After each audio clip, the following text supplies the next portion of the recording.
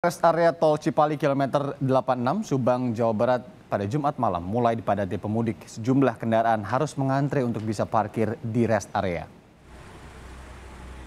Padatan di rest area mulai terjadi dan juga terlihat pada Jumat malam menyusul waktu berbuka puasa. Sejumlah pemudik mengaku pulang ke kampung halaman lebih awal untuk menghindari kepadatan lalu lintas. Sementara pihak pengelola rest area membatasi waktu beristirahat selama 30 menit bagi tiap pemudik. Hal ini agar tidak terjadi penumpukan di rest area.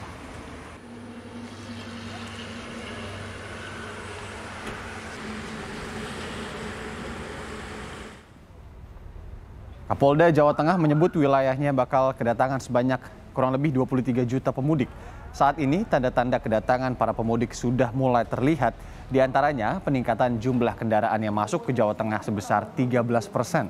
Sementara kendaraan yang keluar Jawa Tengah hanya 3 persen.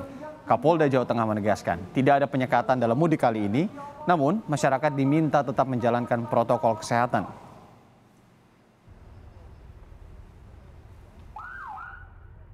Hari ini naik 13 persen yang ke wilayah Semarang, 3 persen juga naik ke arah Jakarta.